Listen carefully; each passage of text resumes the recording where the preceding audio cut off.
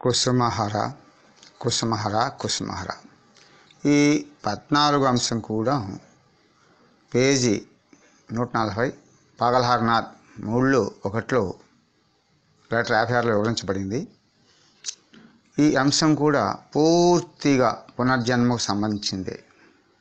ఇక్కడ మనం భక్తులకు ఒక నమస్కారం పెడుతూ వారి పాదాలని స్పృశిస్తూ నా విన్నపం ఏమిటంటే అద్భుతమైనటువంటి బోధ. బోధకుడు అద్భుతమైన వాడే. చక్కటి కృపామయుడు. బోధ చెప్పటమే కాకుండా తన చేయి కూడా అందిస్తున్నాడు మనకి. ఇటువంటి మహాప్రభు అనేటువంటి కృపావతారాన్ని మనం చేజార్చుకోకుండా మన ప్రయత్నం మనం చేస్తాం. అందులో ఎప్పుడు ఉంది? ఆయన దయ కంటే కూడా ఆయన కృప పొందాలి. అదే నామస్మరణ భావము. అయితే ఇక్కడ పృథ్వీని ఇంద్రజాలిక భవనంతో ప్రభు తన లేఖ వివరించారు. ఇదివరకు ఉన్నారు వరల్డ్ ఈజ్ స్టేజ్ అన్న భావంతో. అది కూడా కరెక్టే. ఇక్కడ నృత్యం అనగా నటించడానికి వచ్చాం. కనుక నటించాలి. ఎవరితో? భార్య బిడ్డలతో కీర్తి అన్నింటితో జీవించరాదు. నటించాలి. నటిస్తే మనకేది అంటుకోదు. నటిస్తే స్పందన వస్తుంది. మనకు స్ఫూర్తి కలుగుతుంది. జీవిస్తే నిజం అనుకునే భ్రమలో రియాక్షన్ వస్తుంది. అంటే మనం అనుభవించాలి. అవి సుఖదుఖాలు. కనుక మీకు ఆల్రెడీ చెప్పిందే ఒక నాటకములో ఎస్ఐ గారు ఒక దొంగని తన బెత్తంతో కొట్టినట్టు నటించాలి. ఆ నిజంగా కొట్టేశాడు. పాత్రలు లీనమై. వాళ్ళు లేచి అక్కడే తన్నాడు. నాటకం అసాభాస లేదా? జీవించాలా? కూడదు. నటించాల? అందుకని నటుడు తన యొక్క పాత్రలో చాలా జాగ్రత్తగా ఉంటాడు వాడు. ఇదేది నాది కాదు అనుకుంటాడు నిజమైన అటకుడు అలా కాకుండా ఆ వస్తువులతో ఆ పిల్లలతో ఆ భార్యతో సంబంధం పెట్టుకుంటే బయటకు వస్తే అసలు మొగుడు తంతాడు. కనుక నటించేటువంటి వస్తువులని మనవి కావు అని అనుకోవాలి. అందుకే నటిస్తే స్పందన మనలో స్ఫూర్తి కలుగుతుంది. ప్రభు ఇష్టపడతాడు. జీవిస్తే రియాక్షన్ వస్తుంది. అవే సుఖ దుఃఖాలు. కాబట్టి నాట్యశాలలో ప్రేక్షకులు కామన్ అంటే డైరెక్టర్ అందరూ గమనిస్తారు. అయితే నీ ఒక లివింగ్ రిపోర్ట్గా అక్కడ ఆదర్శంగా నేను తీసుకునే అవకాశం ఉంది కనుక జాగ్రత్తగా నటించాలి. యాక్చువల్గా నీ నటన గమనించేది ఓన్లీ వన్ డైరెక్టర్ ప్రేక్షకుడు ఓన్లీ వన్ అతని హరనాథ్. ఇది మరవకూడదు. ఇది ఆధ్యాత్మిక సూత్రం. నీ యాక్షన్ చూస్తూ ఉంటారు. అయితే సాక్షులు ఉన్నారు అని పరిపాలకులు. అంటే వాళ్ళు ఏం చేస్తారు? నీ రిపోర్టును అంటే ఈ బ్రహ్మాండంలో పాలకులు కర్మసాక్షులు ఎవరయ్యా అంటే సూర్యుడు చంద్రుడు అగ్ని మొదలుగా గల దేవతలు. మన ఉదాహరణకి పెళ్ళినాటి ప్రమాణాలు అగ్ని సాక్షిగా నిన్ను నా ధర్మపత్నిగా స్వీకరిస్తాను అంటున్నాడు. నెక్స్ట్ డే నీ మీద ప్రమాణానికి దేవతలు చూస్తూ రాస్తారు అదే చిత్రగుప్తం చిట్ట. ఆ చిట్టా ప్రకారమే నీ జన్మ ఫార్మ్ అవును. అయితే లార్డు నీ జన్మ నీ ప్లాన్ ఆయుష్ ఆయన వాళ్ళు ఇవ్వగలడు. అది అని ఇచ్చేది. అవకాశం ఇస్తున్నాడు. దీని ఛాన్స్ ఎవరు ఇవ్వలేరు. ఇప్పుడు మనం ఒక తప్పు చేసాం యాక్షన్ చేసాం ఏ శిక్ష పడుతుందో మనకు తెలియదు. చట్టం లేదు. బట్ జడ్జి తెలుసు మనకు. అలాగే ఇక్కడ జడ్జి హరనాథ్. చట్టాలని ఆయన చెప్తున్నాడు అందుకే మనకి. ఆయన ఆయుష్ ఇవ్వగలడు ఇక నీ కర్మ చీటి అంటే ఆ పాత్ర అవగానే నటుడు తెర వెనక్కి వెళ్ళిపోతాడు. అట్లాగే నీ పాత్ర పూర్తి కాగానే నువ్వు తెర వెళ్ళిపోతావు. అదే జనమన్నాలంటున్నాం ఈ రహస్యం ఎవరికి తెలియదు తెలియనివ్వడు. అయితే ఎందుకు తెలియనివ్వడు అనేది ఇక్కడ ప్రస్తావన తెస్తున్నాను. కొద్ది జాగ్రత్తగా వివరిస్తాను. వినండి. అప్రస్తుతం ప్రస్తుతం నాకు తెలియదు. ఒకసారి ధృతరాష్ట్రుడు అడుగుతాడు శ్రీ వ్యాస మహర్షిని నాకు ముందుగా జరిగేది చెప్పని అర్థిస్తాడు. శ్రీ వ్యాస మహాముని అంటాడు ముందుగా తెలిస్తే కాలచక్రం ఆగిపోతుంది అంటాడు అనగా ఒక జీవికి రెండు రోజులు ముందే చస్తాడని తెలిస్తే వాడు ఇక కూలబడిపోతాడు ఆ రెండు రోజులు చేయవలసిన కర్మలు చేయడు. అది అందుకే సరే సంజయ్ని ఇచ్చాడు జరిగేది చెప్పమన్నాడు దివదృష్టి ఇచ్చాడు. అక్కడికి ధృతరాష్ట్రుడు చాలా గందరగోళం పడతాడు. చూడండి. అలాగే ఎగ్జాంపుల్ రెండు కూడా చెప్తాను. ద్రౌపది కూడా శ్రీకృష్ణ సఖి కాబట్టి నొక్కి నొక్కి ఒకసారి అడిగింది. ఎవరెవరు యుద్ధంలో మానేస్తారంటే చెప్పాడు. వద్దు సఖి అంటాడు వినదు. చెప్తాడు అభిమన్యుడు పాండవులు మొదలగు వారంతా మానేస్తారు. ఒక్క నీ ఐదుగురు భక్తులు తప్ప. అంతే ఇక దిగులు పడిపోయింది కోలబడిపోయింది అందుకంటాడు కృష్ణుడు. భవిష్యత్తు తెలుసుకున్నవాడు వర్తమాన సుఖం పొందలేడు. అయిపోయి సుఖదూరం ద్రౌపది ఎంతగానో విలపించింది. అయితే మరి అగ్నిపుత్రి కాబట్టి భరించగలిగింది. మనమైతే తెలుసుకున్న రోజునే దుఃఖాల పలానగా ఆ రోజు చస్తూనే ఉంటాం. ఆ దుఃఖంలో రోజు చస్తాం కావాల్సి డైస్ మెనీ టైమ్స్ అంటాడు. ధీశక్తి కలిగి ధైర్యవంతుడు. బాగా ఆలోచిస్తాడు చావుంచు వాడికి తాటే ఉంటుంది అందుకే ఒకసారి మానేస్తాడు. అదే అనడం ముఖ్య ఉద్దేశం. కనుక సారం ఏమిటయా అంటే అవన్నీ వదిలి కుసుమహరణ మీద భారం వేసి ఆధారపడి నామం చేయటం ఒక్కటే కర్తవ్యం. Take name depend upon Krishna will ఏంటి జనమానాలని ఆయన ఇచ్చాను. విత్ హీజ్ బ్యూటిఫుల్ ప్లాన్ అదే ఇమేజ్ ఇదంతా ఇమేజ్ మృత్యు మనకి తెలియని దాని గురించి ఎందుకు దిగులండి? మనకు అనవసరమైన చింత చింతన కావాలి. అందుకే ఎన్. శ్రీ ఘోష్ గారి బుక్లో కూడా లీలామతంలో అద్భుతంగా చెప్పాడు ఈ విషయం గురించి. జాగ్రత్తగా ఉండండి ఇవి భావరత్నాలు. ఈ జ్ఞానం అనేటువంటి సముద్రంలో ఏరుకోవాల్సిన రత్నాలు. అద్భుతమైన భక్తి రత్నాలు ఇవన్నీ కూడా. ఈ ప్రపంచంలోని బాధ్యతలను కర్తవ్యాలను నీకు ప్రభు ప్రసాదించాడని కృష్ణుడే నీపై మోపడని తెలుసుకో. ఈ బరువులన్నీ కూడా అలా నిర్వర్తిస్తూ ఉండు. మరి కృష్ణుడు ఇష్టం కదా మరి చేయాలి కదా. ఇష్టమైతే కష్టం అనిపించదు కదా. ఏ కారణంగానైనా ఏదైనా నష్టం సంభవిస్తే చిరుబుర్లాడకు విసుగుతో అశాంతితో సణుకోవు. ఆ నష్టం ఇది కాదు యజమానిది కదా. యజమాని కొట్లో నీవు ఉంటున్నావు. నష్టం యజమానికి నీది కాదు. అది కృష్ణుడిదే అనే దానిని సవరిస్తాడు నష్టాన్ని పోలిస్తాడు. ఆయనకి ఎలా నచ్చితే ఆ పని అలా చూసుకుంటాడు. మనం ఇక్కడ ఏం చేయాలో దేన్ని పొందాల్సి ఉన్నదో ముందుగానే నిర్ణయించబడింది. దట్స్ ఆల్ ఇక నీ అధిష్టానం గురించి ఇంకా ముందేమి జరగబోతున్నదో తెలుసుకోవడమని జ్యోతిష్కుల దగ్గరకు సోది చెప్పే వాళ్ళ వద్దకు పరుగులు తీ పెడతావెందుకు వద్దన్నాడు. వద్దని చెప్పేశాడు అంతే. ఏంటి తెలుసుకుంటే ఇదే కదా? ఎంత బాధపడుతున్నారు ధృతరాష్ట్రుడు కానీ శ్రీమతి ద్రౌపది దేవతి కానీ ఆ ఆ బంగారు తల్లి? రేపటి విషయాన్ని గురించి ఆ రేపునే జాగ్రత్త పండి. ఏనాటికి ఈడు ఆనాటికని చాలు అని మత సువార్త ఆరోధ్యాయం ముప్పై నాలుగు వచనంలో కూడా ఆయన ఉటంకించారు. క్రీస్తు ప్రభు అన్నారట. అది ఖచ్చితంగా నిజమే. తాను పాలానా రోజున చనిపోతాను తెలిసిన మనుషుడు రోజుకి రెండుసార్లు చచ్చిపోతాడు కాబట్టి హరణాత్ అలా చేయాలని సంకల్పిస్తే తప్ప హెచ్చరిస్తే తప్ప ఏ శక్తి కూడా భక్తుని కానీ మనుషులను కానీ చావుని తప్పించలేరు. గోపాల్ గురించిన స్పృహను రగులు కొనపడంలో నీ ఆత్మ నిరంతరం వినియోగించు. ఎప్పుడు గోపాల్ నేను తింటున్నానయ్యా అరనాథ్ నేను బట్టలు కట్టుకుంటున్నాను అరనాథ్ నేను బజార్ వెళ్తున్నాను అనేటువంటి స్పృహ కావాలంటున్నారు. అట్లాంటి పదార్థాన్ని ఆత్మతో సేవించాలి. పదార్థాన్ని పదార్థం సేవిస్తే గోవింద.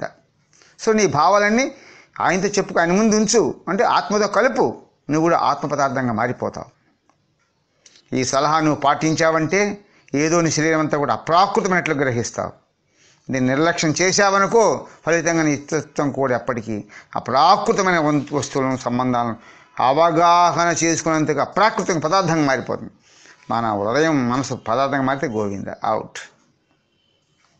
కాబట్టి నీ అధీనంలో ఉన్న వస్తువుల నుండి నీ చర్యలను ప్రతిభావం నుండి నీ వ్యక్తిత్వం తొలగించు. ఇది నాది నేనే తయారు చేసి నేను ఇల్లు కట్టాను. వ్యక్తిత్వం తొలగించు. ఇది ప్రభువు ఇచ్చాడు. ప్రభు లోప పై పై కన్నా లోపల లేదు. నిజంగా లోపల ఉంటే మనకు సన్యాసం వస్తుంది. అందుకు నీ అధీనంలో ఉన్న సర్వస్తువులన్నీ కూడా నీవు చేసే ప్రతిచర్య కూడా నీవుగా భావించకు. నీ వ్యక్తిత్వం తొలగించమంటున్నాడు. ఆ స్థానంలో కుసుమారాన్ని ప్రవేశపెట్టు. అలా చేశావంటే బాధమయమైన ఆలోచనలు ఆవేదనలు నీ మనసు తమ తామిగే దూరంగా తొలగిపోయి నిన్ను ఉల్లాసంగా ఉంచుతాయి. చమత్కారిగా రూపొందిస్తా అన్నాడు. కాబట్టి ప్రతిదానిలోనూ నువ్వు అపాయం శంకించేవాడు మానవులు దేశిస్తూ ఉండేవాడు మానవులను తప్పకుండా తిరిగేవాడు కుసుమాతాన్ని ఎన్నడూ చేరలేడు చేరలేడు చేరలేడు చేరలేడు. నీ చీరను ఎవరు ఎక్కిరించారు? ఏ కుసుమహార అనుకో. ఆయనే నీకు బుద్ధి కావడానికి అహం రావడానికి తగ్గడానికి తగ్గించాడు అనుకో. అది కదా. ఇట్లా మంచి భావంతో జీవించాలి సదా. ఇంకా రెండవ వాక్యంలో ఏంటంటే ఆయన దృష్టిలో ప్రతి పశు పక్షి క్రిమ కీటక పతంగములన్నీ సామాన్యం నో డౌట్ అందుకే ఎగ్జాంపుల్కి ఏం చెప్పాడు రాజుల పాత్ర కానీ ఋషి పాత్ర కానీ పాపి పాత్ర కానీ సోమల పాత్ర కానీ ఆయన దృష్టిలో ఈక్వల్ నాకు పాపి జన్మ వచ్చింది అనుకోడు చాలా తప్పు. ఈ భావన పోషణ వల్ల మరో పాపి జన్మ దై అవిశ్వాసం ఫారం అవుతాయి. కనుక మనం ఏం చేయాలి? చాలా జాగ్రత్తగా ఉండాలి. ఉదాహరణ చూడండి. ఇప్పుడు రాజమౌళి గారు బాహుబలి సినిమా తీశారు. దాంట్లో కీలక పాత్రధారి ఉన్నాడు విలన్ కాళికేయుడు. అయినా వానిపై కక్ష ఉంటుందండి. అలాగని బాహుబలి మీద ప్రేమ ఉంటుందండి. ఆ పాత్రలు సరిగా చేయమని ఆ డైరెక్ట్ సృష్టించిన ఆయనే రచయిత కావచ్చు. ఏ పాత్ర అయినా సరే పాత్రధారి దానిలో బాగా పోషించి ఆనందిస్తాడు. అలాగే అది ఒక యాక్షన్. కనుక అయ్యో నన్ను అందరు నేను అందరిని బాధపడతానని విలన్ అనుకుంటే ఇంకా గోవింద్ యాక్షన్ చేయలేడు డైరెక్టర్ మీద కోపం వస్తుంది. అంటే అరణాది కోపం వస్తుంది. తన కర్తృత్వ భావన ఉండకూడదు. ఉరిదీసేవాడు ఇది దైవజ్ఞంగా భావించేవాడు తలారి కూడా. నేను సంవరిస్తున్నానంటే ఓకే. వాడు కూడా పాత్రధారి కర్మ చుట్టుకుంటుంది. సో కర్తృత్వ భావన ఉంటూ కర్మ పారమవుతుంది డైరెక్ట్ తిడతాడు కూడా. వా- అందుకని విలన్ ఏమంటాడు ఇంకా బాధించు గట్టిగా మందలిస్తాడు. ఎందుకంటే యాక్షన్ బాగుండాలి కాబట్టి. కాబట్టి ఆ పాత్ర పాత్రగా చేయాలి. అందుకే ఎగ్జాంపుల్గా మనకి అనేకం చెప్పాడు ప్రభువు వారు. అంటే బాగా నటిస్తే జీవించకుండా నటిస్తే జరిగేటువంటి ఫలితాన్ని ఎలా చెప్పారంటే ఇప్పుడు ఒక్కటే భక్తమాల్లోని కుష్ఠరోగిన బ్రాహ్మణుని కథ చదివితే మనకు అర్థమవుతుంటాడు. ఆయన వ్యాధిగ్రస్తుడైనప్పుడు తనకు తాను ధన్యుడే అనుకున్నాడట. ఎందుకంటే తన దేహము పుండ్ల నుండి బయటకు వచ్చిన కింద పడిన క్రిములను ఏరి ఎత్తి తిరిగి వాటిని తన శరీరంలోని వాటి వాటి స్థానాల్లో పుండల్లో వేసుకునేవాడట. అయ్యో ఆ జీవులకి ఆహారం పోతుంది అని చెప్పి ఆహారం కోసం తను ఉపయోగపడాలనే ఉద్దేశంతో ఏరి మళ్ళీ వేసుకుంటున్నాడు.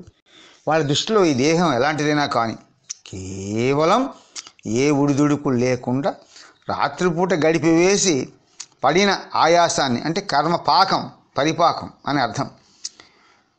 పోగొట్టుకొని పునఃశక్తి పొందేందుకు అంటే ఆత్మశక్తి అని అర్థం. ఏర్పడిన మాత్రం వారందరికీ తెలుసు కాబట్టి వారు దేని కొరకు ఆరాటంతో ప్రభుని వద్ద మొరపెట్టుకోరు. అయ్యో నాకు జబ్బు తగ్గించు అయ్యో నా రక్షించు. అలా చేయరు. అందుకే వారు ప్రభువు నాకు మిక్కిలి ప్రీతిపాత్రుట. ఇది ప్రభు ప్రసాదంగా భావిస్తారు. కష్టాలన్నీ కూడా. వారి స్పర్శతోనే ఎంతో ముదిరిన కుష్ఠరోగులు కూడా క్షణంలో రోగరహితులైపోయేవారు. అయినా వారు తమకు సంక్రమించిన వ్యాధులను నివారించమని ప్రభువుని అన్నాడు కోరలేదు ఇది నాటనంటే. అట్లా కొంతమంది భక్తులు కూడా ఈ శక్తులు ఎగినప్పుడు ఒక కుష్ఠరోగాన్ని ఆపాదించుకుంటారు వాళ్ళ దగ్గర రాకుండా ఉండటానికి. దానికి విషయం కూడా ఏం చెప్పాడంటే ఒక భగవాన్ దాస్ బాబా అట ప్రార్థించి తెచ్చుకున్నట శ్వేతరోగం శరీరాన్ని ఆచ్ఛాదంగా చేసుకున్నారు. కాదు చూడండి అనవసరంగా మనసును వ్యాకులపరచుకోవద్దు. ఇదంతా ప్రభుని కీలగా భావించాలి భావించాలి అని మరొకసారి ప్రభు యొక్క వాక్యాలను విన్నవిస్తూ ఉన్నాను. అందుకే అలాంటి భక్తమాల్లోని కృష్ణుడు పాత్ర చక్కగా నటించాడు. జీవించలేదు. లార్డును ఆకర్షించాడు. కొత్త కొత్త బహుమానం జన్మ ఇస్తాడట అసలు ఆయన ఇచ్చే సుందరమైన బహుమానం అద్భుతమైన జన్మ. లైక్ శ్రీ విమలామ తమాలీమ వాళ్ళు ఎన్ని కష్టాలు పడ్డారు? దేహం గురించి ఆలోచించలేదు. దేహ గురించి ఆలోచించారు. దేహం ఆత్మ. అని. సరే ఇక్కడ రెండో పాయింట్ ఏంటంటే జన్మెత్తడం గురించి ఏ వేషం ఏ జన్మ కావాలనేది నీ ఇష్టం లోబడి ఉంటుందంట. చూడండి ఇంకా ఎంత స్వేచ్ఛ ఇచ్చారు. మంచి పాత్రే కాదు. ఆ పాత్ర నీకు లోబడి ఉంటుందని చెప్పి four two one sixty seven letter one forty two పేజీలో చెప్పారు ఏ ఒడిదుడుకు లేకుండా ఈ సబ్జెక్టు లోపల జీర్ణమైతే అని చెప్తున్నారు. ప్రశాంతమైన చిత్తంతో నీకు నిర్దేశించిన పని కర్తవ్యాన్ని చేసుకుంటూ పో. చివరికి పరమానందాన్ని పొందుతావు. అంతేకాదు ప్రభువుని ఆదరాభిమానములను కూడా పొందగలుగుతావు. బాగా నటిస్తే అప్పుడిక రాజు వేషమా మహారాజు వేషమా కుక్క వేషమా కోతి వేషమా ఏ వేషంతో రావాలనేది నీ ఇష్టం లోబడి ఉంటుంది. చూసావా అద్భుతం. మంచి యాక్టర్కి లభించే పాత్ర అది. అప్పుడు నీవే వేషం రావాలనుకుంటే దాన్ని ప్రభు నీకిస్తాడు. ఎందుకంటే అప్పుడిక నువ్వు ఏ పని చేసేందుకైనా అంటే ఏ పాత్ర ధరించేందుకైనా చక్కగా యాక్షన్ చేసేందుకైనా సమర్థుడివేనని ఆయన గ్రహిస్తాడు. కనుక కనుక ఈ ఇంద్రజాల భవనములో నృత్యం చేసేందుకు పేరు తెచ్చుకొని అనుకుంటే చక్కగా యాక్షన్ చేయాలనుకుంటే వీరుని వలె నీ కర్తవ్యం నిర్వహిస్తూ ముందుకు సాగిపో. ముందు వెనకలు ఆలోచించవద్దు. ప్రభు నీకు ఏ పాత్రను నిర్దేశించాడో ఆ పాత్రను పూర్తిగా శక్తి వంచన లేకుండా అభినయించు ఆహాకారాలు చేయవద్దు అని చెప్తున్నాడు. నిజంగా నా రణాత్ ప్రభు ఎన్ని జన్మ రహస్యాలు ఎన్ని బాగా చెప్పాడు. చక్కగా చదువుతుంటూ ఊతనిస్తున్నాడు అసలు ఎంత దీప్తి ఎంత ఉత్సాహం కలిగిస్తున్నాడు రణాత్ అలాగే ఇంకోటి కూడా చెప్పారు. ఎంత అంటే మనం బాధలు చూడాలి నివేదించండి. ఒకటి రెండుసార్లు తీరుస్తాడు. సహాయం అందిస్తాడు కూడా. ప్రాంప్టింగ్ ఉంటుందట. అంటే నీ కాపీ డైలాగ్ కూడా అందిస్తాడు వెనకాల నుంచి. అదే నీకు లార్డు ఒక కొంకి క- కర్ర ఇచ్చాడు. ఒక్కన ఆయన పట్టుకున్నాడు. మన వెనకాల మన ఒక్కన పట్టుకున్నాడు. నీ వదిలేస్తే గతి ఎందుకు కూడా రాశాడు రనాథ్ నీకు ఒక విషాద పాత్ర ఇవ్వబడింది. అంటే కష్ట సుఖాలు ఉన్నాయి బాగా కష్టాలు ఉన్నాయి. ఆ పాత్రను వెంటబెట్టుకొని మనం ఇక్కడికి వస్తే ఇక ఒక కష్టం మీద ఒక కష్టం వస్తుంది. ద్రౌపది అక్షయం కష్టాలే కష్టాలు వస్తున్నాయి. అలా రావాలని కోరుకోవడం మంచిదంటున్నాడు. కేవలం ఆట కోసమే నటన కోసం వచ్చిన మనం రక్షించండి రక్షించండి అంటూ సహాయం కోసమని కేకలు బొబ్బలు పెట్టే అనుకో ప్రభు మన ఆక్రందన వినిపించుకోడు సరికదా మన పైన విరక్తుడు అవుతాడు సాధ్యం చదువుకోండి. ఫోర్ టూలో పేజ్ వన్ ఫార్టీ వన్. ఇక్కడ నటించడానికి వచ్చి నటించకుండా ప్రధాని గురించి ఆలోచన చేసి నా ప్రభువా నా రక్షించు ఆయన ఉన్నాడు. అని లేడైంది ఒకప్పుడు. అందుకని పిచ్చివాడా చదువుకోండి రాశాడు. ఆందోళన ఏమి లేకుండా నీ విధి నీవు నిర్వహిస్తూ సాగిపో. పరమానందాన్ని పొందుతావు. నీ పాత్రని గమనిస్తాడు వెనకాల డైరెక్టర్ రణాథ్ విషాద పాత్రలు కానీ హీన పాత్రలను కానీ ధరించేవారు ప్రభునికి అత్యంత సన్నిహితుని అంగీ అంతరంగా గ్రహించు. అందుకే పాపులు why they are they to sinners అది పాత్ర నువ్వెవరు రసించుకుంటానికి ద పాత్ర the action given by the lord so హీనపద ధరించేవారు ప్రభునికి అత్యంత సన్నిహితులని ఆంతరికంలో గ్రహించు. అందులో వారిని ఏమాత్రం సులకం చేసినా ప్రభుని తీవ్రమైన ఆగ్రహం కలుగుతుంది అనుకో గుర్తించుకో. అందుకే పాపాన్ని మాట్లాడకూడదు పాపని ద్వేషించకూడదు. హేట్ తీస్తున్నారు నాట్ తీస్తున్నారు ఎందుకు హేట్ చేయమన్నాడు? అట్లాంటి పనులు చేయకుండా ఉంటాను కాబట్టి. కాబట్టి చూడండి ఎంత బాగా చెప్తున్నాడు. అనురాగము ఆగ్రహం రెండు జంటగా ఉంటాయి.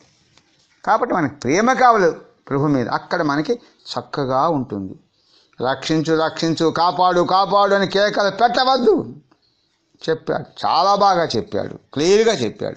అయ్యో నేను బాగా నటిస్తున్నానే. నేను బాగా రూపురేఖ నడుస్తున్నానని చెప్పి అహం రావచ్చు.